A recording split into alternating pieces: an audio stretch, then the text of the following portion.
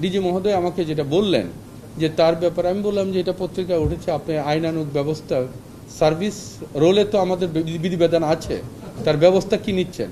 বলে যে, স্যার, এটা তো আমরা ইয়ে করলাম, ব্যবস্থা নিচ্ছি, জানাব মন্ত্রণালয়কে।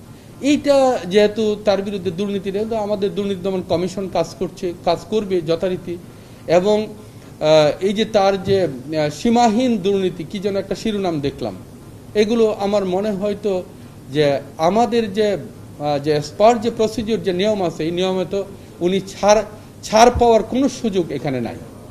ছাড় পাবেন না। এবং শুধু তা না, একটি কথা হয়তো একটু বাড়িয়েও বলতে পারি। আরও এরকম, আরও যারা আছে, তাদের ব্যাপারে অনুসন্ধান করার বোধ একটা প্রক্রিয়ার মধ্যে আছে। আরও আছে হয়তো, আরও আছে। এবং আমরা বলব যে দুর্নীতি করে পার পাওয়ার কোনো সুযোগ নাই। এবং স্বাস্থ্য মন্ত্রণালয়ে আপনারা লক্ষ্য করেছেন গত কয়েক মাস যাবৎ। গত কয়েক মাস যাবৎ এটা আমার বলতে আমি সাহসিকতার সাথে বলতে চাই, আত্মপ্রত্যয়ের সাথে।